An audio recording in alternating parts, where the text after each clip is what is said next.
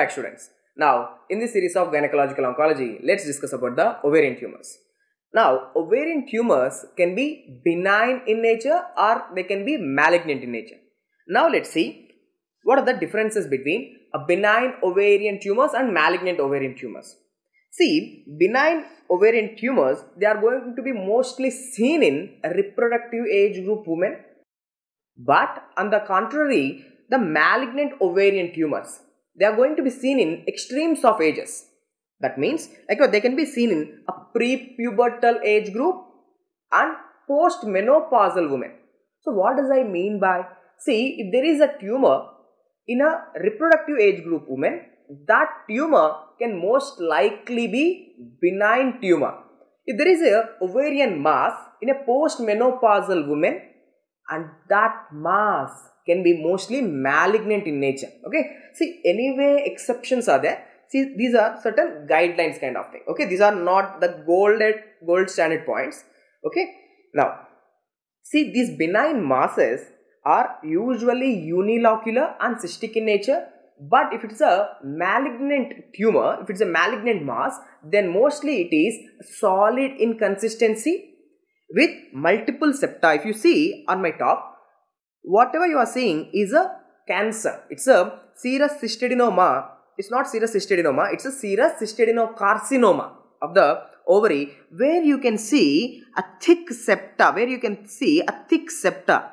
So, because of this thick septa, you can see it's a multiloculated. There are many, many locules inside which there is a solid growth. So, what I am trying to put into your mind is usually malignant masses are solid in consistency with a thick septa inside them and they are solid tumors. Okay. Now, and also you can see these papillary excrescences or papillary outgrowths on the surface see you can have all these these kind of papillary outgrowths which are coming out so these are papillary excrescences and that too they are mainly associated with the malignant ovarian tumors now if it's a benign tumor mostly the, they will involve a single ovary what does i mean by unilocular involvement if it is a benign mass unilocular involvement will be there if it's a malignant mass, both the ovaries will be affected. Okay. So, malignant tumors are ovarian cancers. Cancers will have bilateral involvement. Benign tumors will have unilateral involvement. Okay. So, everything is clear. Now, let's discuss about the risk factors for ovarian cancer.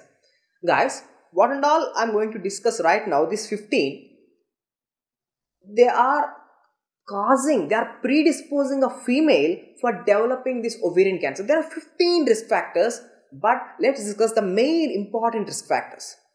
Guys, it's very simple that more the ovary is functioning, more the ovary is getting stimulated, more number of ovulations, more the ovary is under the stress.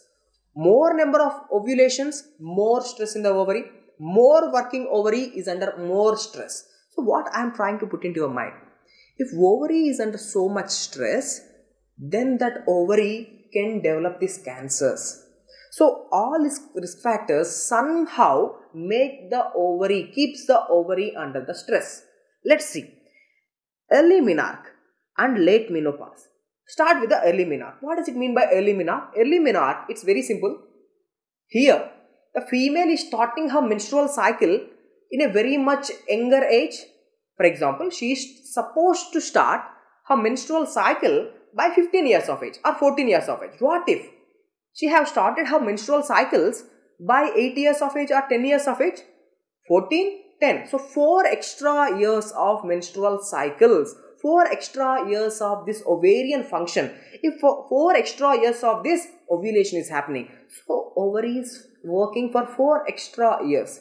So ovary may got stressed out and it may gone crazy and it can produce the ovarian cancer. The same way, same concept is applicable to late menopause. She is supposed to have um, her menopause by 50 years of age. What if she is having her menopause at 58 years of age?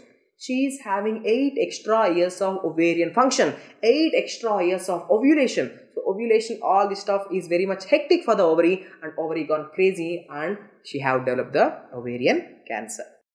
Okay, now obesity is a risk factor. Okay, obesity is a risk factor for many things. Okay, here also. Now, endometriosis, see, we have already seen the endometriosis which is associated with the hyperestrogenic state. See, when we are discussing about the endometriosis, when we are discussing the topic about endometriosis, there we have discussed that these endometrial deposits are going to fall onto the uh, ovaries and may cause endometrioid ovarian cancer. See, the endometriosis is associated with endometrioid ovarian cancer. Later we will discuss that and it is also associated with the clear cell cancer of the ovary. So, endometriosis is a risk factor. Nulliparity or infertility is also a risk factor. Why? Why? Because if she is nulliparous means she is not having the pregnancy. If she would have her pregnancy, what will happen? Having pregnancy is something good. Why? Because she will get almost one and a half years break. Okay, one and a half years break from the menstrual cycles. Because of gestational amenorrhea and lactational amenorrhea, she is not going to have her menstrual cycles for one and a half year. That's something good. But if she is nulliparous or she is infertile means she is not having pregnancy. She is not having a break from the menstrual cycles. So that keeps her ovaries continuously working, continuous ovulation and that's not something good for the ovaries. Continuous stress is not good. Okay, that's what I'm trying to put into your mind. And this asbestos exposure, asbestos is a carcinogenic agent which is thought to cause ovarian cancer and this asbestos in some quantity is also present in the talc okay? In some quantity it's present in talc. So keeping perineal talc some females they will be keeping this perineal talc to keep their the vulval regions dry not to uh, get moist over there. So keeping this perineal talc on daily basis so this perineal talc with this asbestosis will find its way into the blood circulation and this asbestos may reach the ovary and cause the ovarian cancer. Something true. And genetic mutations. Genetic mutations will be seen in this Lynch syndrome, BRCA1 gene mutation, BRCA2 gene mutation, which we are going to see in the next slide. See, Lynch syndrome, what exactly is that? It's a it's a disorder where there is a mutation of DNA mismatch repair genes. Because of the mutation of certain genes, which are going to discuss later, important genes are there. Because of the mutation of those genes, there is this development of ovarian cancer. See, hereditary non-polyposis colorectal cancer, which is also called as Lynch syndrome, is not only associated with the development of ovarian cancer. Ovarian cancer is a part of Lynch syndrome. But getting this Lynch syndrome because of the mutation of certain genes will increase the risk of colorectal cancer. That's the most common cancer which is seen with the Lynch syndrome. Endometrial cancer, ovarian cancer, gastric cancer, kidney cancer, bladder cancer, many cancers are seen as a part of Lynch syndrome. And we all know that BRCA1 gene mutation, BRCA2 gene mutation, which are associated with the development of ovarian cancers. We have seen that. And the anovulatory conditions like PCOS and HRT, see the PCOS and HRT, they are the risk factor for endometrial cancer, but they are also thought to be a risk factor for ovarian cancers. Okay, now ovulation inducing drug how ovulation inducing drug can be a risk factor for ovarian cancer? Why not? In the name itself, it's very clear. Ovulation induction means it's stimulating the ovary so much to cause the ovulation. So this stimulation may make the ovary to go mad and ovary become cancer. Okay, so that's something important. And smoking. So smoking, I will be discussing you again, but Remember, smoking can also be a risk factor for ovarian cancer, especially mucinous histologies. Okay, when I am discussing about the different types of ovarian cancer, epithelial ovarian cancer, uh, germ cell cancer, stromal cancers, like metastatic cancers, there we will know what is this mucinous histology, which means simple, a tumor with mucin. Okay, so we have completed the risk factors for ovarian cancer. Now let's go further. Now, what is this Lynch syndrome? Lynch syndrome, it's an autosomal dominant disorder where there is mutation of where there is a mutation of DNA mismatch repair genes. The most common mutation is MLH1 gene mutation. Okay, MLH1 gene mutation and MSH2 gene mutation. So, because of the mutation of these genes, the female can develop a multiple cancers in her body. Now, what are what is the most common cancer? The most common cancer is a colorectal cancer followed by endometrial cancer. Next, the ovarian cancer. See, what you can see here, having Lynch syndrome, having Lynch syndrome increases the risk of getting this ovarian cancer by almost 20%. That's what I am trying to put into your mind. Okay? Okay. Now, let's talk about the BRCA1 gene mutations and BRCA gene BRCA2 gene mutations. See, BRCA1 gene is present on chromosome number 17 and BRCA2 gene is present on chromosome number 13. See, it's very important that having BRCA1 gene mutation is having the maximum risk of getting the ovarian cancer by almost 40%. Okay, see, BRCA2 gene mutation also causes ovarian cancer, but only 15%. BRCA1 gene mutation, 40% chances that she will have ovarian cancer. So, this female who is having this BRCA1 gene mutation, she is at a risk of getting ovarian cancer by 40%. So, she is a high risk individual.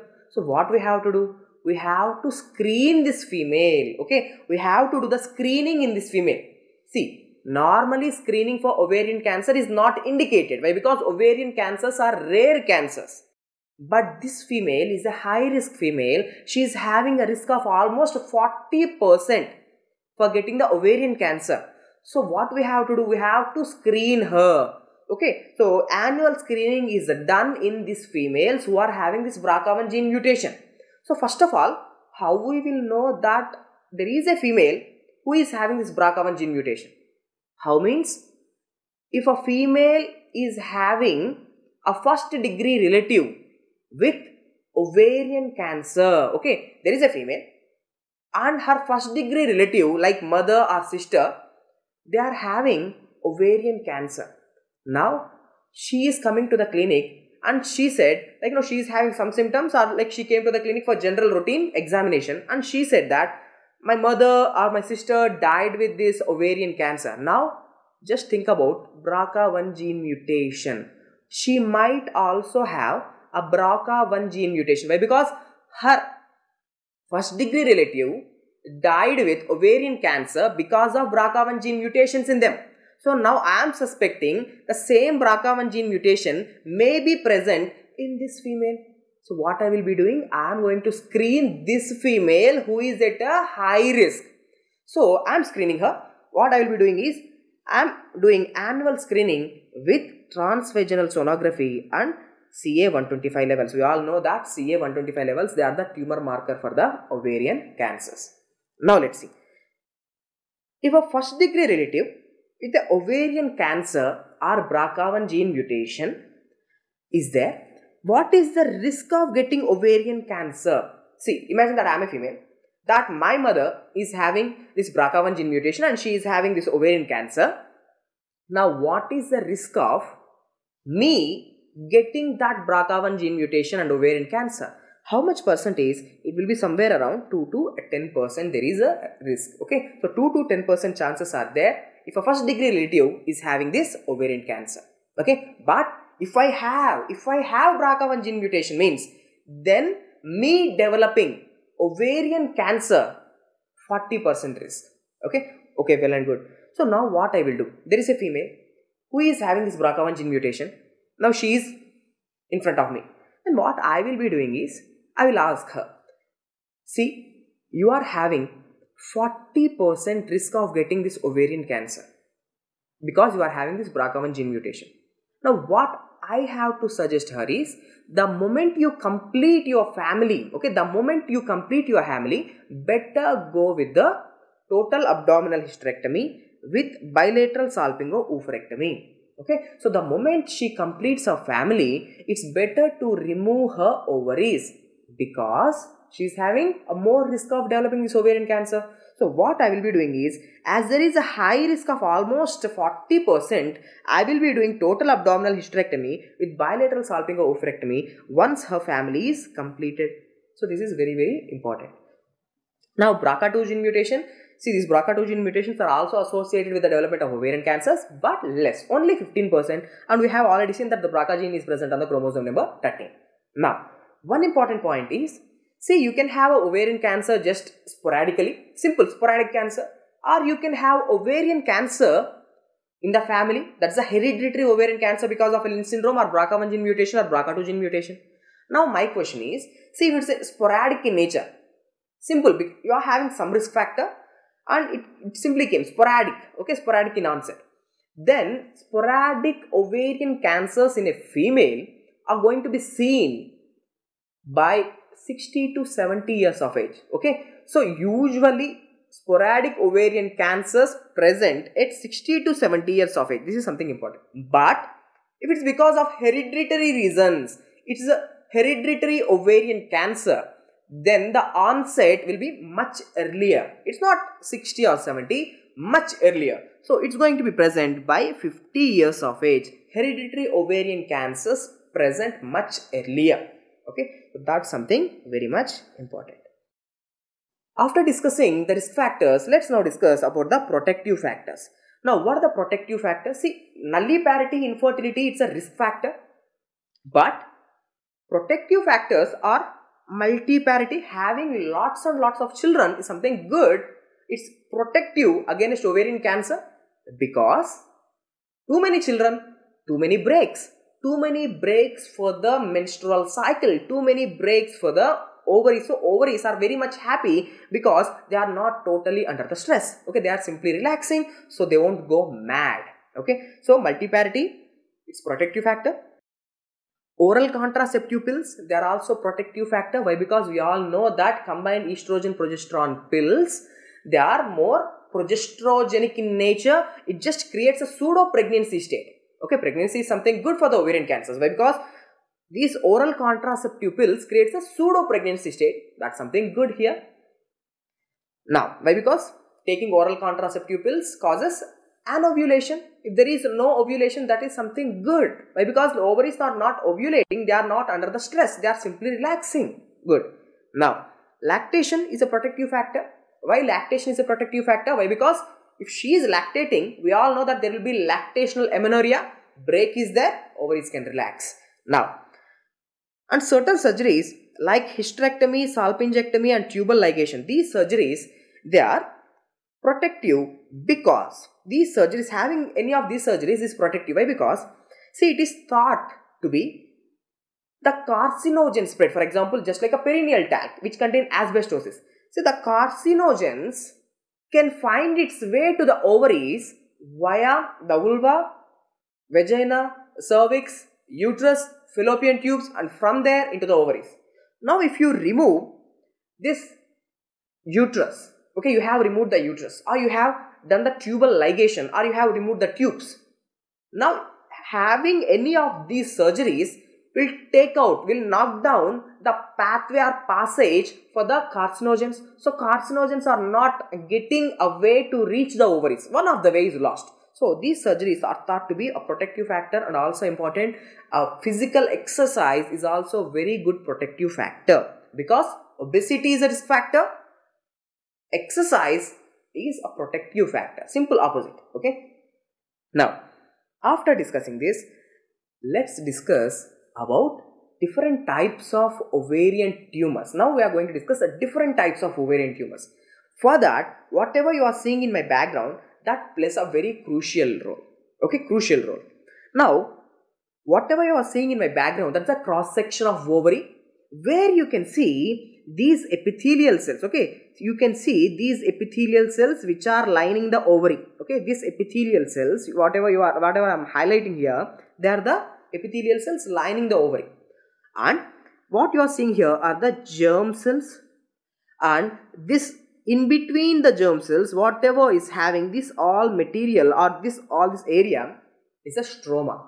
Why i'm showing you all this anatomy here? Because you can have a tumor from the epithelial cell from the epithelial cell you can have a tumor. So ovarian tumors are divided into epithelial ovarian tumors germ cell ovarian tumors stromal ovarian tumors. Okay, sex cord stromal ovarian tumors we will discuss, don't worry. Now, how many major types of ovarian tumors are there guys? Epithelial ovarian tumors, it's not one single tumor. Epithelial ovarian tumors which includes, so, so, so, so, we will discuss, don't worry. Epithelial ovarian tumors, germ cell ovarian tumors, stromal ovarian tumors. Are a tumor may not be intrinsic or I can say a cancer may not be intrinsic it may come from some outside, some other from outside, and it may get lodged inside the ovaries and it can proliferate. So, metastatic tumors. So, how many types of ovarian tumors you may expect? There will be epithelial ovarian cell tumors, germ cell ovarian cell tumors, stromal ovarian cell tumors, and metastatic ovarian tumors. Now, let's see the classification. See, I have already discussed here. Ovarian tumors, they are epithelial in nature. They can be epithelial in nature. Now, what are the examples of epithelial ovarian tumors? The examples are, see, serous tumors, mucinous tumors, Brenner's tumor, endometrioid tumor and clear cell tumor. Guys, this one slide is the heart for entire ovarian tumors. If you know this slide, entire ovarian tumors will be very very easy. So you have to know. This is the WHO classification for the ovarian tumors where the ovarian tumors are mainly classified into four types and which are having every type is having subtypes. For example, epithelial ovarian tumors are divided into serous ovarian tumor, mucinous ovarian tumor, endometrioid tumor, clear cell tumor and Brenner tumor. In the same way, germ cell tumors are divided into teratomas, dysgerminomas, yolk sac tumors, embryonal cancer, choriocarcinoma and mixed type. Okay, so this is very much important and we are going to discuss everything in detail. Okay, we are going to discuss about one by one.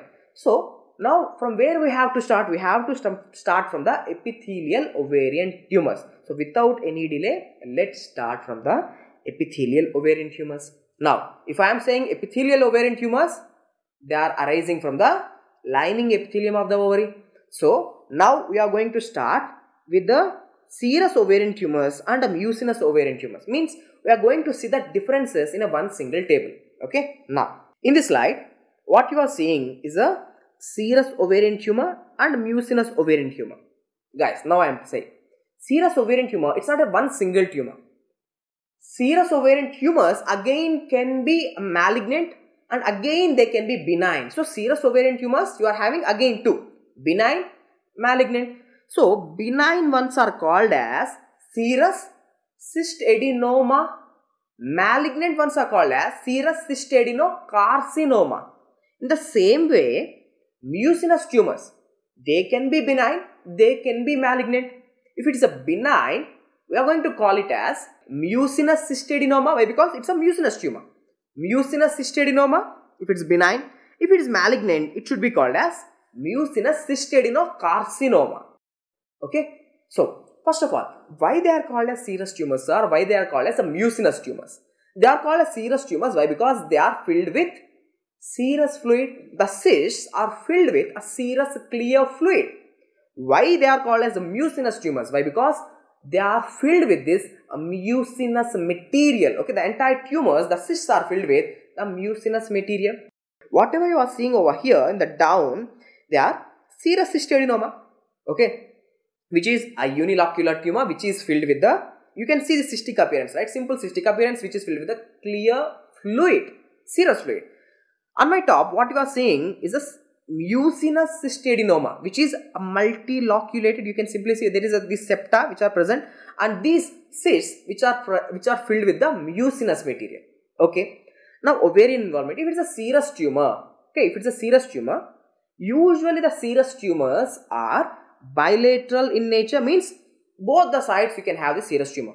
If it is a mucinous tumor, they are usually unilateral. Mucinous tumors are unilateral in involvement. Serous tumors are usually bilateral in nature. But a serous tumor can be unilateral as well as a mucinous tumor can be bilateral. Okay. So, please concentrate here that even mucinous tumors 10% of the time, 10% of the time they can be bilateral in nature. Having said that, see serous tumors are associated with certain mutation, certain gene mutation and mucinous tumors are associated with certain gene mutation. Now what are the gene mutations which are seen with the serous tumors? They are BRCA1 gene mutation, BRCA2 gene mutation and P53 gene mutations can cause serous tumors and mucinous tumors are associated with the KRAS gene mutations. Now if I am talking about the tumor markers, the tumor marker for a serous cystadenomas or serous tumors are CA125 for CA, like for both serous cystadenoma as well as serous, serous cystadenocarcinoma. Okay, I'm just talking about the serous tumors. CEA, carcinoembryonic antigen and CA199.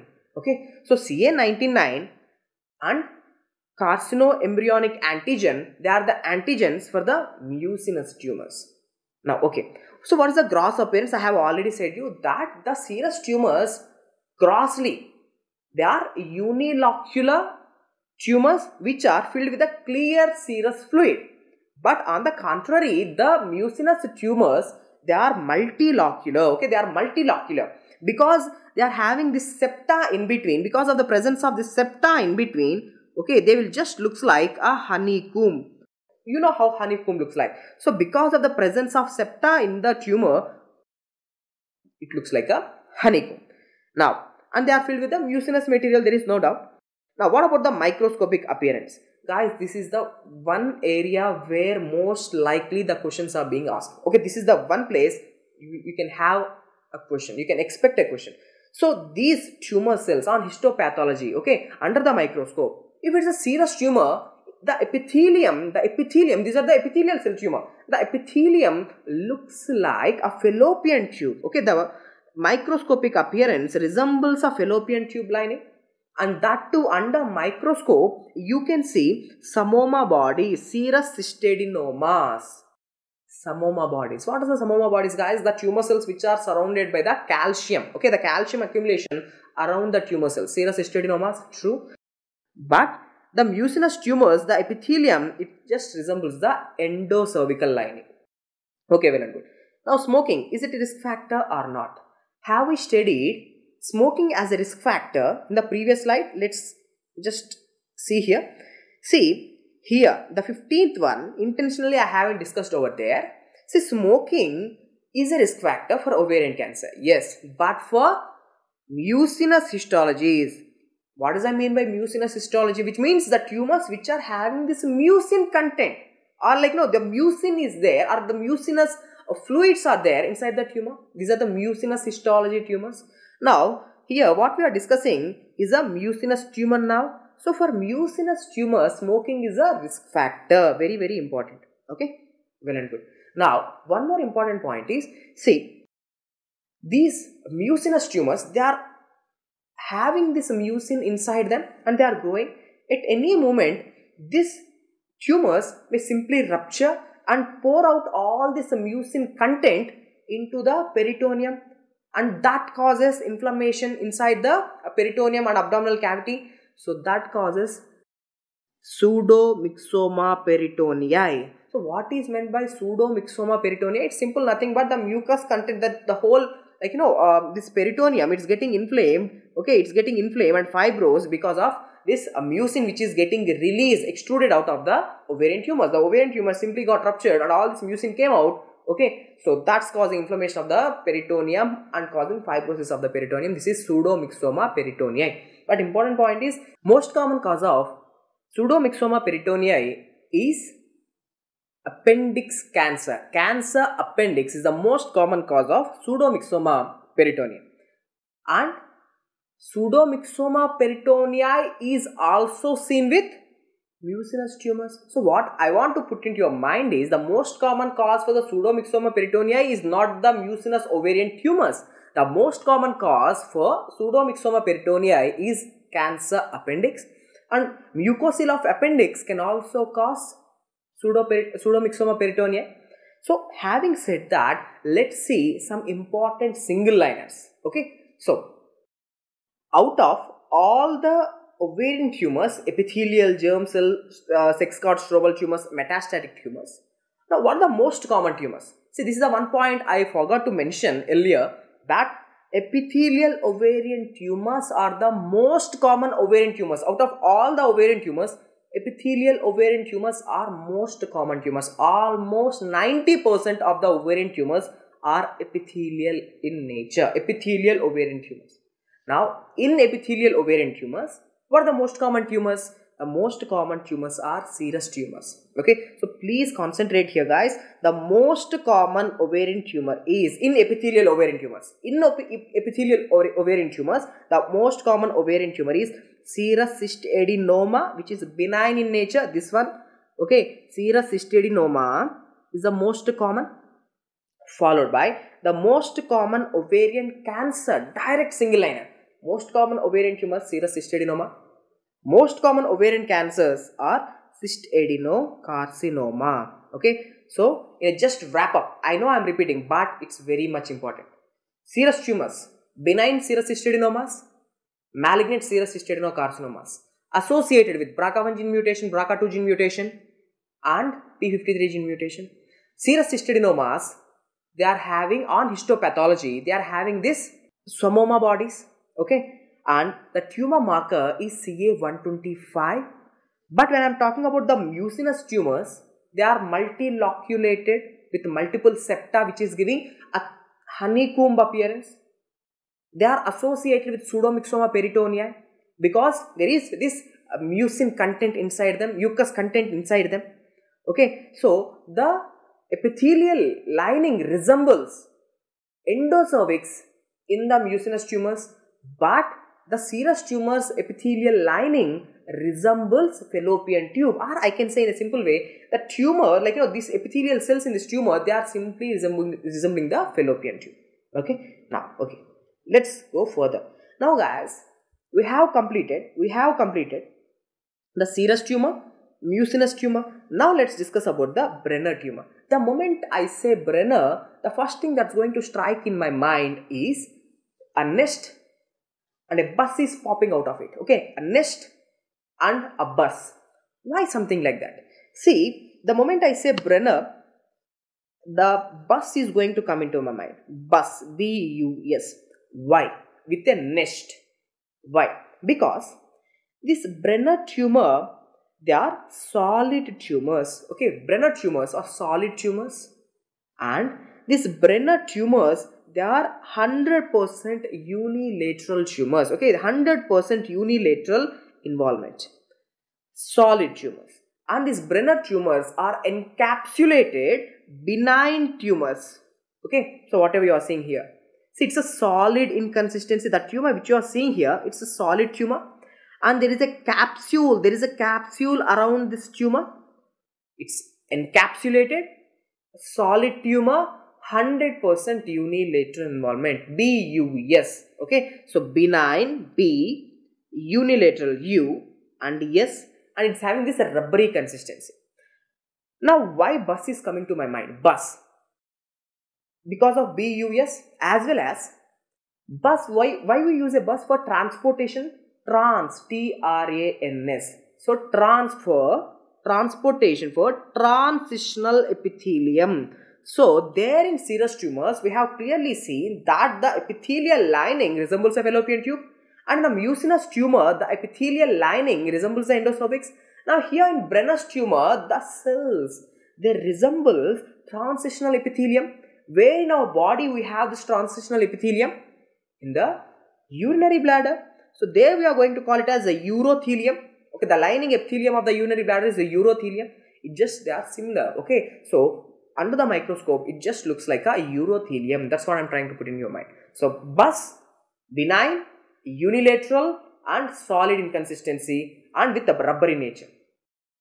Bus is used for transport. Trans transfer transitional epithelium okay? So why this nest? Why this nest? Why? Because i repeatedly asked mcq if you are taking this tumor if you are seeing under microscope you can see here on my top you can see like you know the tumor cells they are just like you know uh, they are just in the form of nests. Okay? You can see these uh, tumor cells they are arranged like you know concentrically just they are looking like a nest so they are called as Walthard cell nest. Okay there is a cell nest. Okay cells they are arranging concentrically and they are just forming a nest of cells. So these are Walthard cell nest. So Walthard cell nest is seen with Brenner's tumors. And if you see one single individual cell, inside that cell, you can see the nucleus which just looks like a coffee bean. You can see a cell which is resembling a coffee bean. So coffee bean nuclei is seen with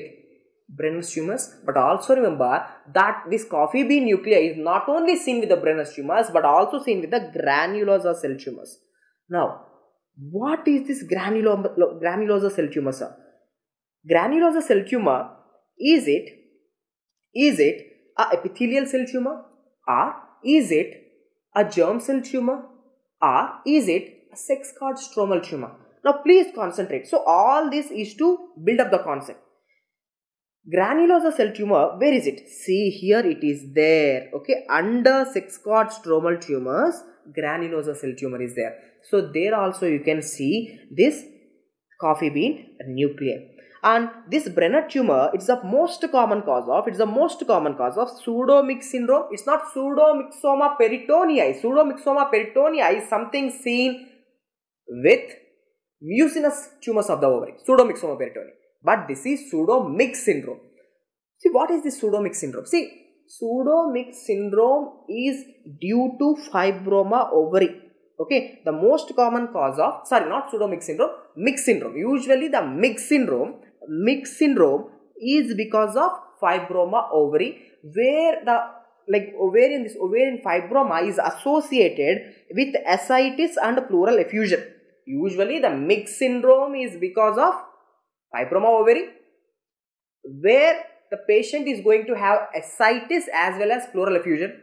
But my question is same here also with Brenner's tumor the patient is going to have, the female is going to have ascites as well as pleural effusion which just looks like a Meigs syndrome. But this is not because of fibroma ovary. This is because of Brenner's tumor. So now I am calling it as a pseudo Meigs syndrome. So if it is because, if these symptoms are because of fibroma ovary, then you are going to call it as Meigs syndrome. The same symptoms are causing by some other tumor other than fibroma ovary, then it should be called as pseudo-Meigs syndrome, not Meigs, pseudo-Meigs. So, most common cause of this pseudo-Meigs syndrome is Brenner's tumor. So, we have discussed all the important points regarding serous tumors, mucinous tumors and Brenner tumor. After Brenner tumor, let's continue with the two other tumors which are endometrioid tumors and clear cell tumors. Are they part of epithelial cell cancers? Yes, please concentrate here. We have completed serous tumors, mucinous tumors, Brenner's is also completed. Now we are going to discuss about endometrioid tumor and clear cell tumor. Now these are very simple. Now please concentrate that endometrioid tumor and clear cell cancer, both of them, they are malignant tumors. Okay, they are malignant. Okay, they are mostly malignant in nature. Now, in the name itself, it's very clear. Endometrioid tumor so it is associated with endometriosis, say associated with endometriosis and endometrial cancer. But if they ask you in a single line question, most common ovarian tumor which is associated with endometrial cancer, then the better answer would be endometrioid ovarian tumors endometrioid ovarian tumors are mostly are most commonly associated with endometrial cancer. Then what about what is the ovarian tumor? What is the ovarian tumor? Most common ovarian tumor which is associated with endometriosis not endometrial cancer. If it is endometrial cancer it is endometrioid tumor.